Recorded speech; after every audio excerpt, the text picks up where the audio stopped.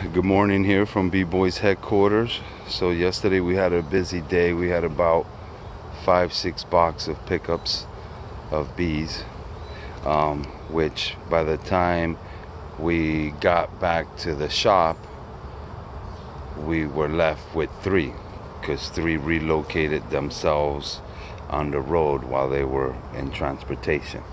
That's why we put them in these boxes so we could give them a chance to relocate themselves, um, as well as taking them to back here so they can relocate themselves here also.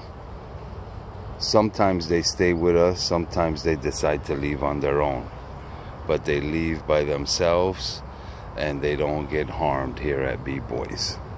They're willing to go or they're willing to stay and help us harvest. Ain't this a beauty?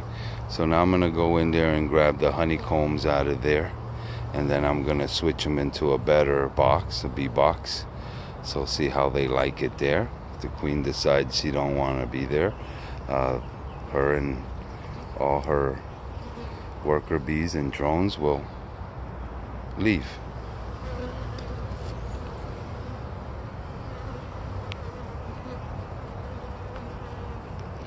Thank you for watching Beeboyz.